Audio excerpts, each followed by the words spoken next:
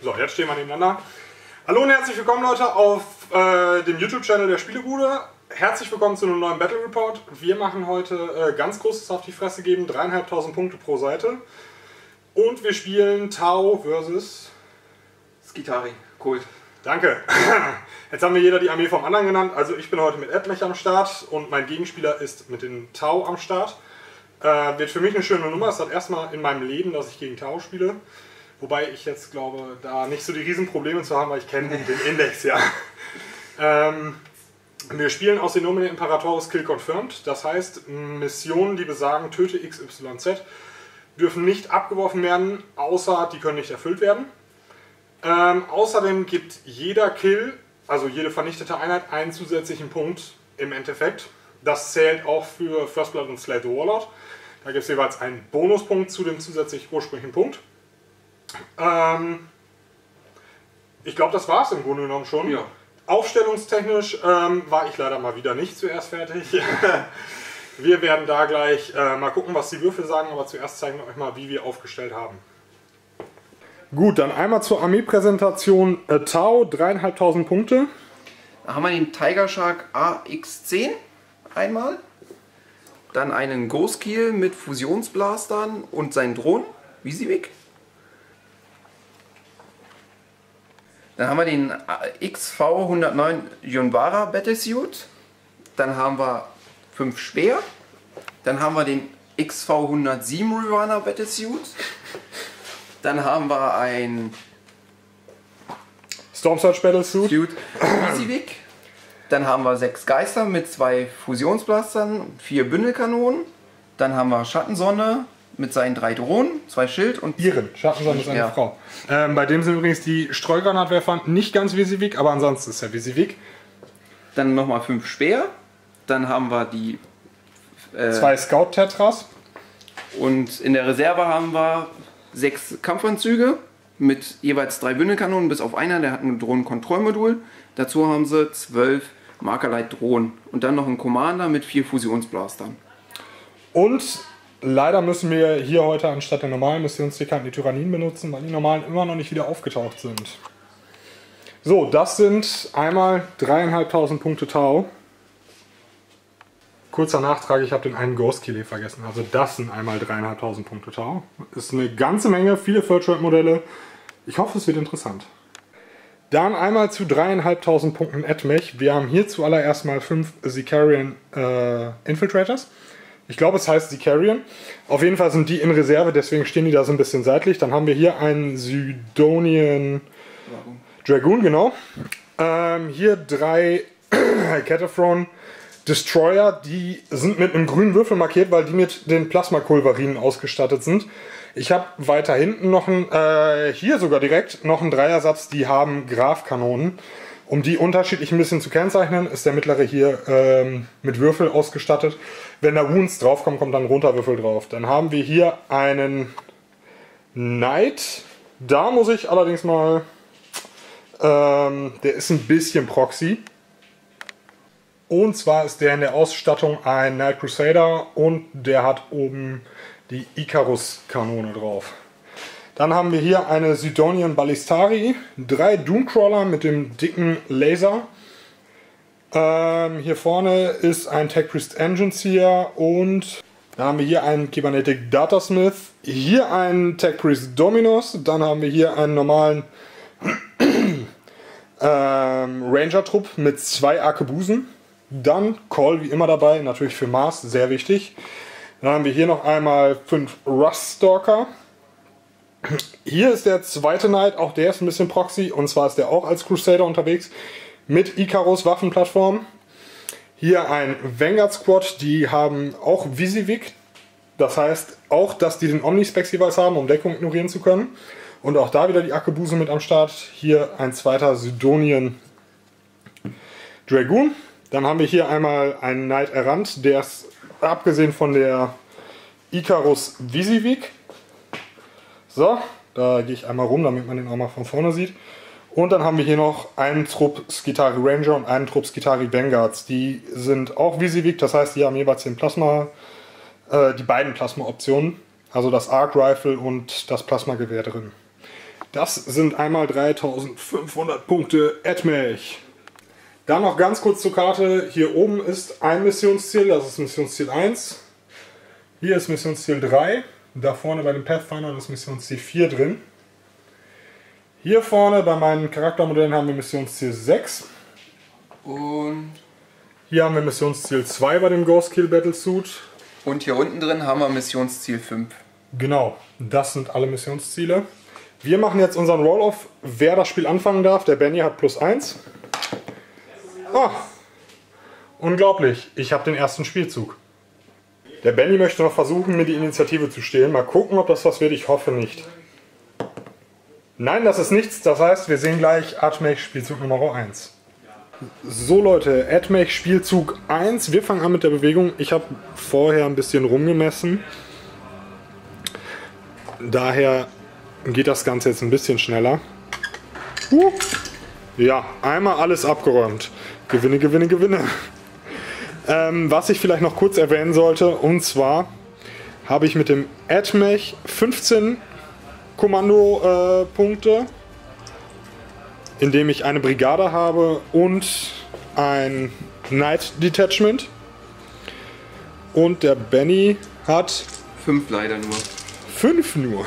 ja. Schauen wir mal. So, die Skitari wollen hier so ein bisschen um die Ecke schleichen, damit die Sicht auf den Ghost Kill beziehen können, der da oben drin steht. So. War das schon der ganze Trupp? Ich weiß es nicht. Ich muss gleich einmal hier durchzählen. Nein, einer fehlt. Das waren, du hast einen mehr reingepackt, glaube ich. Acht waren das. Warte, nee, hier, äh, nee, das sind alle. Tatsächlich. Weil ich habe hier, äh, der Berobte, der hier steht, ist nämlich der Sergeant aus dem Trupp, weil ich keinen Sergeant mehr zu markieren hatte. Und dann gehen wir einmal hier rüber, die bewegen sich hier hin. Wie gesagt, die grünen markierten sind die mit den Plasma-Bewaffnungen Und da hinten die mit Graf. und die dürfen sich quasi dahin bewegen, wo die anderen vorher standen. Toll! ja, ich heb den mal eben wieder auf. Der hat hier einmal sein Backpack verloren, weil ich da so furchtbar talentiert drin bin, die Figuren runterzuschmeißen. So, der geht einmal so. Und damit sind wir schon im Grunde am Ende der Bewegungsphase, obwohl der Knight hier vorne, der will auch noch mal ein bisschen losmarschieren. Der Würfel kann auch weg. Und damit sind wir am Ende der Bewegungsphase angekommen. Ich lasse mir mal kurz durch den Kopf gehen, womit ich wo drauf schieße und ähm, bin da mal gespannt, was die Schussphase mir so bringt. Weil ich so super darin bin, Sachen zu verpennen, kommen jetzt nochmal eben die Lobgesänge. Eine 2 und eine 4. Ich habe mir mal kurz durch den Kopf gehen lassen, was ich da jetzt mache. Die 4 bleibt auf jeden Fall und die 2 modifiziere ich zu einer 1. Das heißt, alle meine Einheiten zählen als in Deckung befindlich, die von den Lobgesängen profitieren. Und ich kann verpatzte Moralwertchecks wiederholen. Wir fangen jetzt allerdings mal eine Runde an mit dem Schießen. Und zwar zuerst mit diesem Knight hier. Der schießt mit der Thermalkanone und mit allen anderen Bewaffnungen in den Ghost Kill rein. Triffst um eins schlechter dann. Trifft um einen schlechter. Wir haben gerade schon abgemessen, der ist keine 12 Zoll mehr vom Ghost Kill entfernt. Deswegen leider nur um eins. Einmal die Schussanzahl für die Thermalkanone. Den möchte ich natürlich rerollen. Oh Wunder, oh Wunder. Das ist eine 5. Jo, Da dann sieht man's. würde ich auf den Reroll versuchen, mit meiner Fähigkeit auf die 6 einen Command Point zu kriegen. Ja. Genau, mit dem Pure Chip. Ja, Das ist ein Command Point für den Benny. dann habe ich 6. Ich mache jetzt 5 Schusswürfe auf die 4. Das sind drei Stück und die schreien da hinten schon wieder rum. Und mit Stärke 9 verbunde ich auf die 3. Das sind zwei Stück mit DS minus 4 und Schaden D6. Die S-4, dann habe ich meinen Vierer Retter von meinem Schild. Ja, Ja. da stehen beide. Na super toll. Die Icarus kommt als nächstes. Da der Ghost Kill das Keyword Fly hat, trifft die um 1 erleichtert. Dadurch, dass er ein Ghost Kill ist, trifft die allerdings wieder um 1 erschlechtert. Das heißt, ich treffe ganz normal auf die 3. Das sind alle. Mit Stärke 7 dürfte ich gegen den Ghost Kill auf, die drei. 3 verwunden, genau. Das sind drei Verwundungen, diesmal nur DS-1, wobei das auch irrelevant ist. Schaden 2 each. Und auf die vier einen Retter. Einer nicht. Zwei Schadenspunkte für den Ghost Kill. Stimulanzinjektor. Auf die 6. Nein, dann zwei Schaden. Zwei Schaden. Dann hat er noch 8. Und dann kommt noch der Heavy Stubber, der trifft jetzt wieder nur auf die 4. Ein Treffer, Stärke 4, das heißt, der verwundet auf die 5. Keine Verwundung. Damit ist der erste Knight fertig. Die Gitarre hier schießen als erstes, die wollen auch auf den Ghost Kill halten. Sind mehr als 12 Zoll weg, treffen um 2 schlechter. Genau.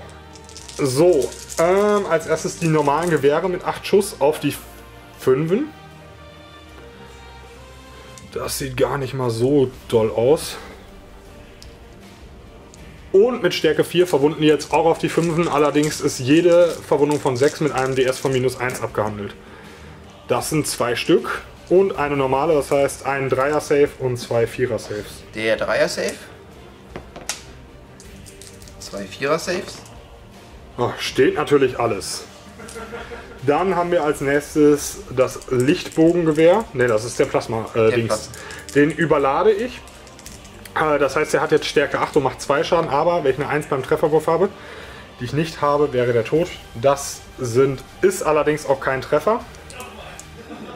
Und zu guter Letzt kommt noch das Lichtbogengewehr mit einem Schuss. Das trifft auch nicht. Ja, dann ist der Skitari-Squad hier auch schon durch.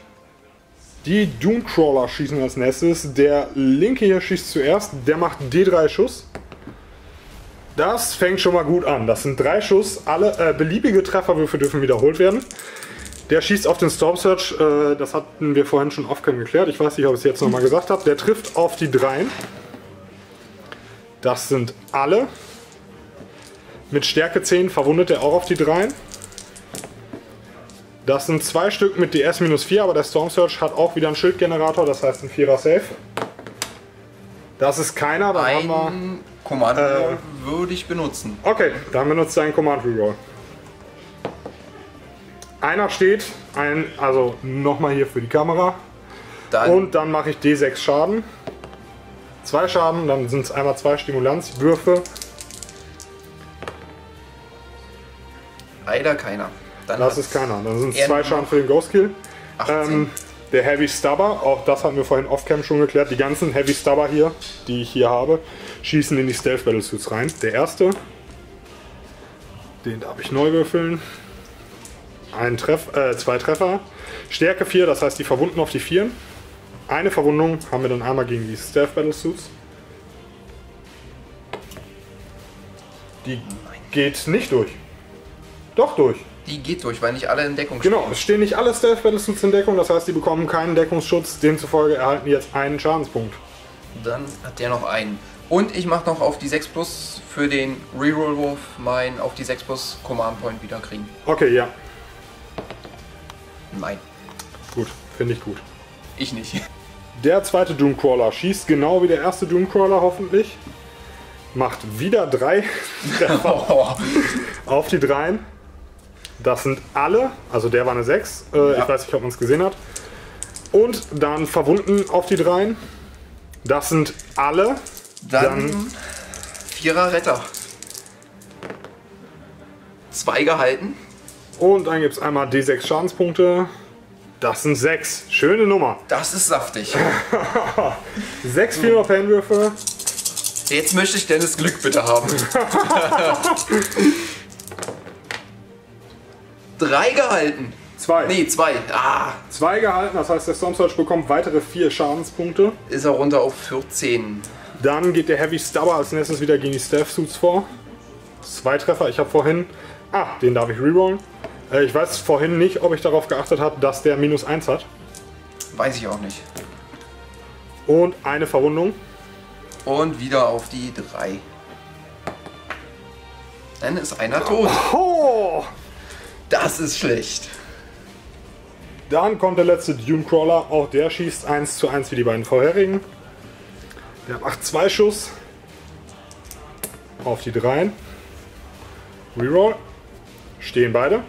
Wieder auf die dreien. Die stehen auch beide wieder. Dann den Vierer Retter wieder. Läuft nicht schlecht bei mir weiter. Nicht Zwei eingesaved. verpatzt. Das sind zweimal D6 Schaden. Das sind sechs Schaden. Auf die sechs. Einer. Nochmal fünf Schadenspunkte für den Storm Surge. Hier unten liegt noch einer. Dann sind wir runter auf neun. Gut, läuft bei mir. Kommen wir zum nächsten Knight. Der mit der Thermalkanone und der Recher-Gatling. Der schießt, abgesehen von den Icarus, auch geschlossen in den Storm Surge. Die Icarus schießt in den Ghost Kill rein. Ich fange an mit der Thermalkanone. Drei Schuss. Oh, geht echt steil bei mir. W6-Schuss war die Thermalkanone. Ah, W6 Schuss. Fünf Schuss sogar. Oh Gott. Dankeschön. Das ist zu viel. Äh, der trifft auf die Dreien gegen den Storm Surge. Das ist eine ganze Stange. Der Dominus, ist der in 12 Zoll? Das müsste ich mal kurz nachmessen, weil das könnte jetzt wichtig sein, weil ich tatsächlich Der darf habe. nicht nur für Fabrikwelten. Ah, stimmt, nur für die Fabrikwelten, ja. Dann fällt die 1 raus. Mein Fehler. Und äh, jetzt verwunde ich auf die Dreien wieder. Vier Verwundungen mit DS-4. Das wird, äh, könnte Vierer brutal werden. Drei Sch oh. Dreimal W6. Das könnte das Ende des Storm Searches sein. Das sind 8 Schadenspunkte. Kann ich noch rerollen? Ja. Ich möchte die 1 rerollen. Ich möchte versuchen, auf die 6 plus einen Command Point zu kriegen. Ja, Tatsächlich. Der war jetzt auch äh, auf jeden Fall wert. Also wir sind bei 12 Schadenspunkte. Drei Stück müsstest du bestehen, vier Stück müsstest du bestehen, damit der Storm Surge überlebt.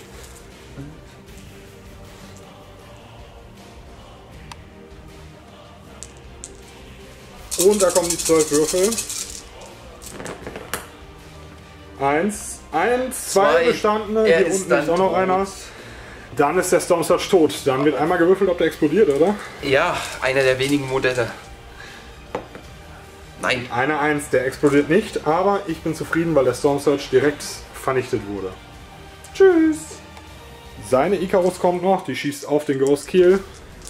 Minus 2 aufs Treffen, aber mit 3 Sechsen ist das relativ irrelevant. dann bringt mir wieder mal nichts. So, und jetzt verwundet er auf die 3. Das sind zwei Verwundungen mit DS minus 1, das heißt, äh, der Ghost Kill. Vierer Retter. Genau. Nein. Keiner steht, also 4 Feel No Pain Würfe.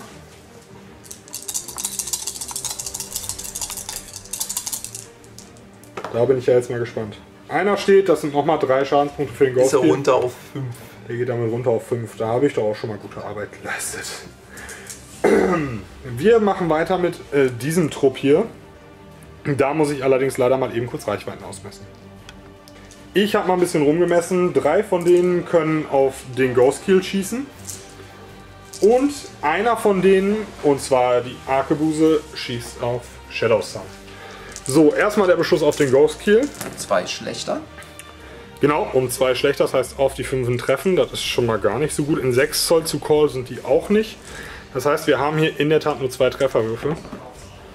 Und eine Verwundung. Wow. Und auf die 4 den Retter. Auf die 3 sogar. Auf du hast deinen ganz normalen Safe. Den halte ich. Das ist eine 4, das heißt, der ist eindeutig gehalten. Dann hauen wir einmal die Arkebuse raus. Die trifft auch minus 1, also auf die 4. Das war auch nichts. Dann ist auch dieser Trupp leider schon wieder äh, durch. Wir machen mit dem Trupp hier weiter, aber auch da muss ich erst wieder Reichweiten messen.